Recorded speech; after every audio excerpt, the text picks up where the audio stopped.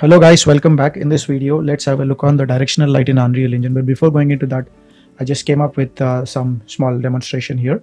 And also it will just uh, cover up all the important lights of uh, the Unreal Engine.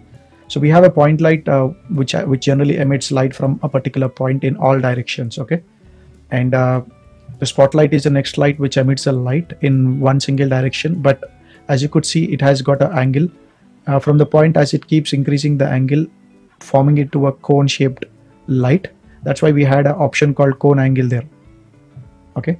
Then we have an area light. It's a light where the light comes from a bigger area. Okay? Point light is suitable for anything like bulbs. Okay? Uh, spotlights are used for torch lights. Okay? And uh, area lights are used for tvs or windows etc okay now the point is uh, the directional light. Directional light does not fall uh, into any of the artificial light sources. Uh, point li uh, directional light is very unique. So as you see the source of the light is point point and the big area okay? But our directional light is basically it's a daylight actually. It's a sunlight specifically. The light uh, generally comes parallel through the total scene. There is no starting point you might be asking okay sun is a point and the sunlight is almost like a point light.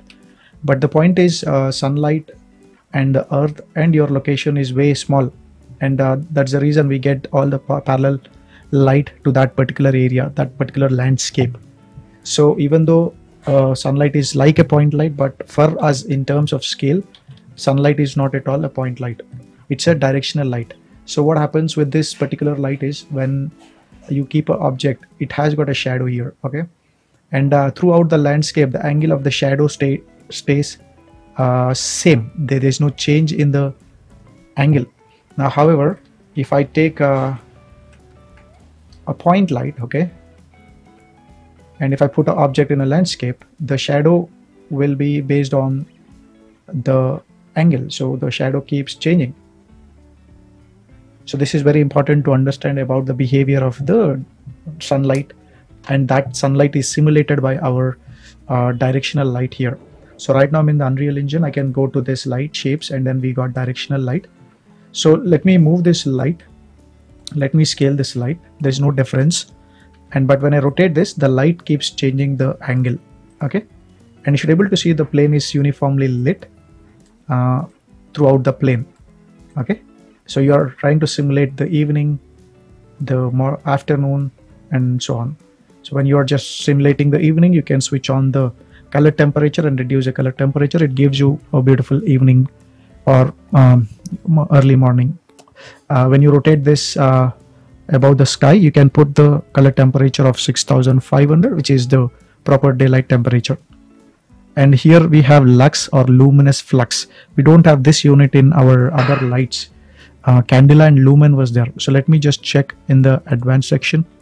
Uh, we don't have uh, the control to um, change the unit in the advanced section. Let me just check it with the point light. Okay. Okay. A point light has got candelas unitless and lumens. Okay. And if i go to the um, advanced section okay. Uh, sorry here we are in the advanced section only. If I expand this you got these options there right but uh, when I select the directional light under the light advanced section we don't have that attribute at all. So the thing you can generally control about directional light is the orientation okay? And uh, we have uh, some uh, unique attributes in terms of um, directional light. There is something called soft angle. Now what happens you know the overcast sky will have a bit of diffused light. So our light will be angular i mean it's like this angle it's like this angle it's like this angle it's like this angle. The problem is i'm painting over and over. It happens for me most of the times. I should be able to see this is the angle what we are getting. So if i just take a smaller angle then the angle will be less. If i take a wider angle the angle would be more. Uh, that's uh, the angle option which we have in the directional light which is the source angle so you should able to see that ends up giving me that soft shadows in the source angle. Let me try a value higher than uh, 10 so it's not really affecting but uh, range between uh, 0 to 5 is softening the shadow which is really good. Uh, source soft angle is another attribute which is given for the same control.